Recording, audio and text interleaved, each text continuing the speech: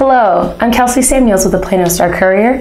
This is Tim, and this is what you can expect to see in our Sunday paper. So, the water rates have increased since October 1st. So, we've got a story about how homeowners are adjusting as well as what to expect moving forward. We've also got a story of homelessness by the numbers in Collin County. Just a quick overview, seeing as November is Homelessness Awareness Month. St. Mark Baptist Church in McKinney will soon be celebrating its 138th anniversary, so you can find out about its history of the church and how far they've come over the years. And we've also got a glimpse last week of the McKinney student who was literally wearing his trash for two weeks. Um, we'll have a full story on Sunday.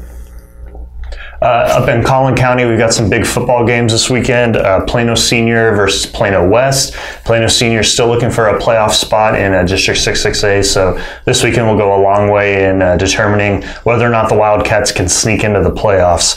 Uh, also, Plano West Volleyball playing a playoff game on Friday. Uh, we'll have a recap of how that game goes against Belton in Sunday's paper.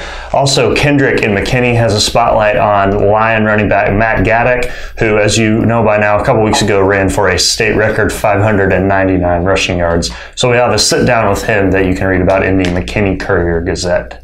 That's all you can see from sports and news. For more, check out starlocalmedia.com.